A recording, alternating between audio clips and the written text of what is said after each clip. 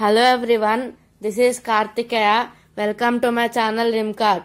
Today I am going to say about the digestive system. First, I am going to appraise about the composition of the digestive system.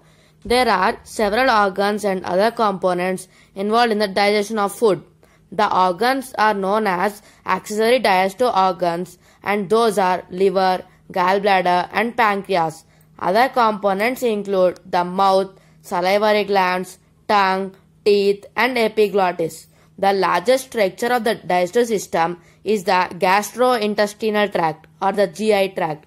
This starts at the mouth and ends at the anus, covering a distance of about 9 meters.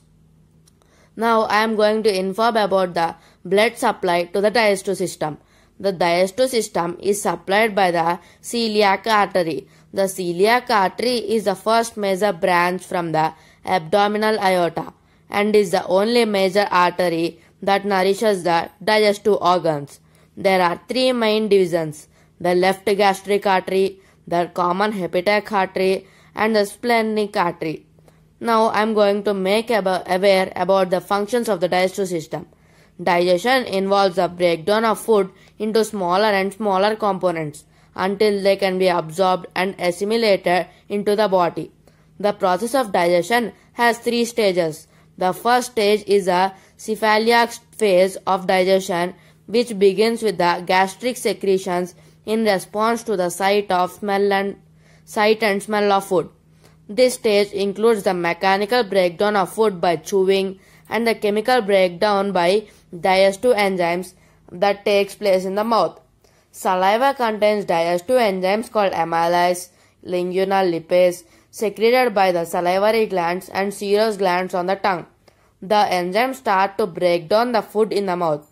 Chewing, in which makes the food is mixed with saliva, begins the mechanical process of digestion.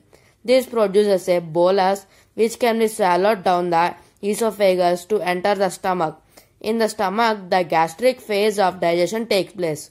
The food is further broken down by mixing with gastric acid until it passes through the duodenum in the third intestinal phase of the digestion where it is mixed with the number of enzymes produced by the pancreas. Digestion is helped by chewing of the food carried out by the muscles of the mastication, the tongue and the teeth and also by the contractions of the peristalsis and the segmentation. Gastric acid and the production of mucus in the stomach are essential for the continuation of the digestion. Peristalsis is the rhythmic contraction of muscles that begins in the esophagus and continues along the wall of the stomach and the rest of the gastrointestinal tract. This initially results in the production of chyme which when fully broken down in the small intestine is absorbed as chyle into the lymphatic system. Most of the digestion of the food takes place in the water in small intestine and water and some minerals are reabsorbed back into the colon of the large intestine.